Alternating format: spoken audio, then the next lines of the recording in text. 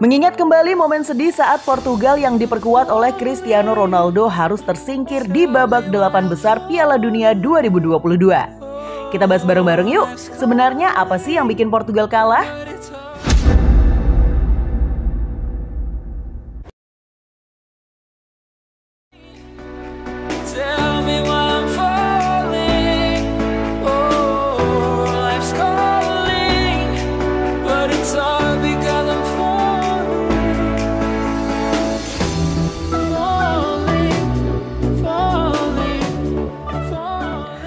Portugal harus bertemu Maroko di perempat final Piala Dunia 2022.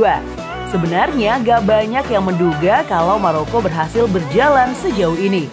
Mereka berhasil menyingkirkan lawan-lawan yang kuat seperti Spanyol, Belgia, bahkan Kanada.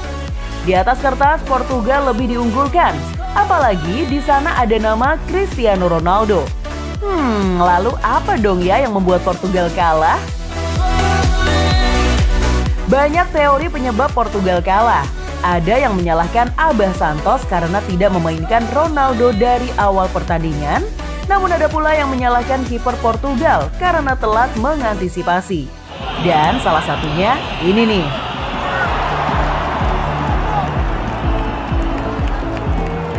Pemain Portugal seperti terlalu cepat mengambil keputusan.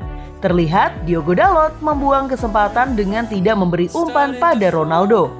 Mungkin dirinya panik ya karena Portugal tertinggal satu gol dan waktu semakin menipis untuk mengejar. Aduh, sayang banget kan? Nah, kalau menurut kamu sendiri gimana nih guys? Apa sih yang membuat Portugal kalah? Tulis ya opini terbaikmu di kolom komentar.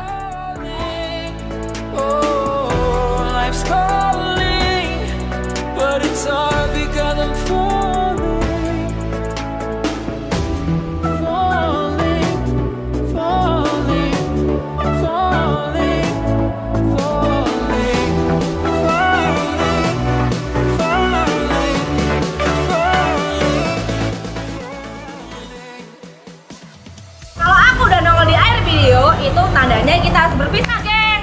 Eh, subscribe dulu CR7 ID biar kita bisa bertemu lagi di konten-konten selanjutnya.